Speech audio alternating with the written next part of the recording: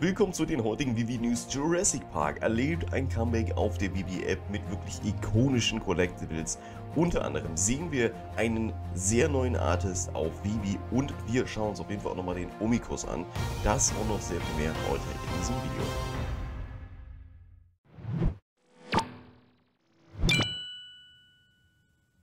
Willkommen an Bord, ich bin dein Captain, dein VOG mit den wichtigsten Videos, die du da draußen definitiv nicht verpassen solltest. Und heute wieder mit einer Menge, Menge Themen mit dabei. Ich kann aber auf jeden Fall auch nur empfehlen, falls du mein gestriges Video hier nicht gesehen hast, schau es dir definitiv an. Es war wirklich ein sehr, sehr interessantes Video.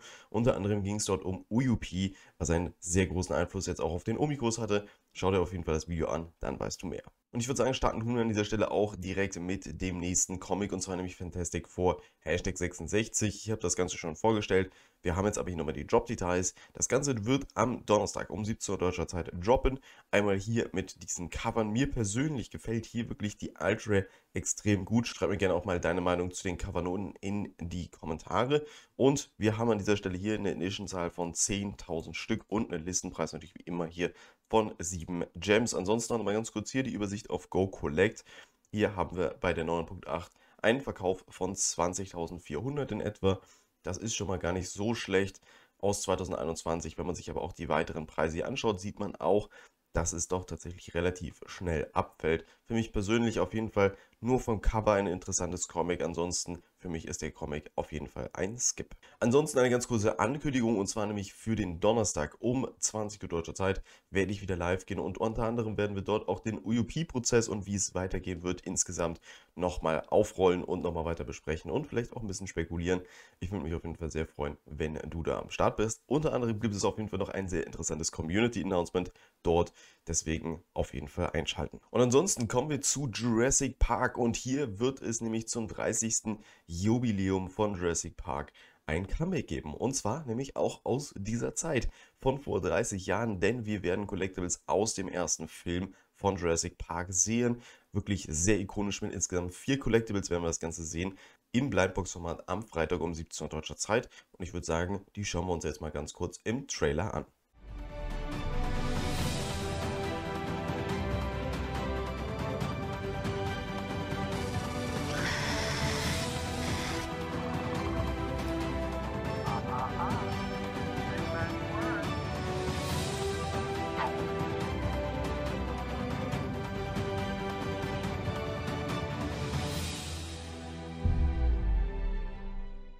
Wie ihr vielleicht selber schon feststellen konntet, das waren auf jeden Fall einige Collectibles dabei, wo man echt so dachte, okay, hey, was soll das denn jetzt? Beispielsweise diese Spraydose, wo aber tatsächlich ja das im Prinzip eine Kryogenkapsel ist, ist tatsächlich sehr interessant. In Zukunft könnte man eventuell natürlich damit auch irgendwas machen.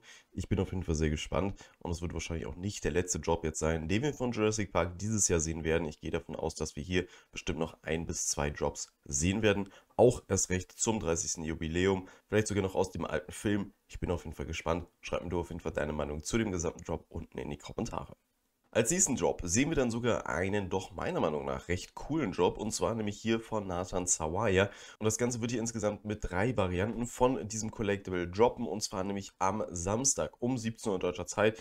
Und so sieht das Ganze aus. Das ist tatsächlich, wenn man es so mal rein technisch betrachtet, FA Lego auf der Vivi App, weil hier einfach bei dem Collectible mit Lego gearbeitet wurde, beziehungsweise man darf ja nicht Lego sagen, sondern im Prinzip Bausteine, weil der Begriff Lego ja geschützt ist. Ich finde es persönlich aber wirklich sehr, sehr, sehr cool. Unter anderem ist das tatsächlich gar nicht mal wirklich von Nathan Sawaya lizenziert, sondern tatsächlich in Zusammenarbeit mit Elman X entstanden. Denn Elman X ist im Prinzip an dieser Stelle hier der Lizenzgeber. Ich bin auf jeden Fall sehr gespannt. Es gibt natürlich auch viele weitere Sachen von ihm. Ich denke mal, ein weiteres Collectible, was wir hier sehen werden und worüber ich mich jedenfalls sehr freuen würde, wäre dieses hier. Ich bin auf jeden Fall sehr gespannt, wie es in der Community ankommen wird. Du kannst mir sehr gerne mal deine Meinung zu diesem gesamten Collectible in die Kommentare schreiben. Ich werde jedenfalls den Job mitnehmen, sollte das Ganze nicht zu teuer sein, beziehungsweise halt auch nicht zu viele Editions haben. Ansonsten gibt es auf jeden Fall noch eine ganz kurze Ankündigung von David Yu. Viele haben es wahrscheinlich mitbekommen, Silicon Secure mit einer der größten Vivi Whales in der App, wie auch ein sehr, sehr großer Vivi-Verfechter, ist tatsächlich vor einigen Tagen von uns gegangen. Und dementsprechend, weil er ein so großer Part der Community einfach war, haben sich David und auch Dan dazu entschieden, am 20. August, das heißt am Sonntag, bei dem nächsten Job im Prinzip eine Gedenkminute im Prinzip für ihn zu machen. Und zwar um 17.01 Uhr wird der Job dann im Prinzip erst ausgeliefert, beziehungsweise erst machbar sein, mitzumachen. Denn ja, im Prinzip von 17 Uhr bis 17.01 Uhr soll das Ganze als Gedenkzeit genutzt werden. Einfach ihm zur Ehre, finde ich auf jeden Fall eine sehr, sehr coole Aktion und ähm, ja, zeigt auf jeden Fall hier auch, dass David wie auch Dan hier die Community auch mit einbeziehen und auf jeden Fall auch, wenn sowas passiert, dementsprechend hier auf jeden Fall auch ja, mehr oder weniger tätig werden. Ich finde es eine sehr coole Aktion und das auf jeden Fall nur als ganz kurze Info dazu.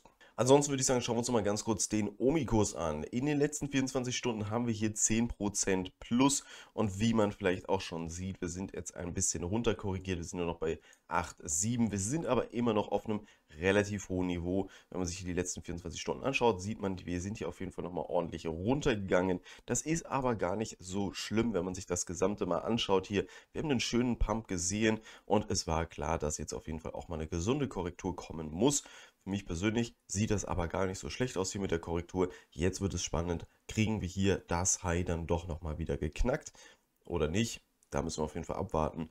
Nichtsdestotrotz sieht das auf jeden Fall momentan nicht so schlecht aus. Wir haben hier keinen Fake-Out gesehen und eventuell ist das tatsächlich der Start für Omi auf dem Weg nach oben. Natürlich ist hier auch wichtig zu beachten, das weiterhin von der UUP-Seite auch geliefert werden muss. Das heißt, wir sollten in diesem Jahr definitiv noch eine weitere UUP-Funktion sehen, um den Kurs hier auf jeden Fall weiter oben zu sehen. Ich bin auf jeden Fall sehr gespannt, wo es hingeht und ich werde dich natürlich hier auch weiterhin auf dem Laufenden halten. Und ansonsten war es das an dieser Stelle auch schon wieder mit dem gesamten Video. Wenn dir da draußen das gesamte Video gefallen hat, gib dem ganzen Video sehr gerne ein Like und ansonsten bedanke ich mich auf jeden Fall riesig bei dir da draußen fürs Zusehen und wünsche dir jetzt auch auf jeden Fall einen wunderschönen Morgen, Mittag, Abend und bis dann, der Captain. Ciao, ciao.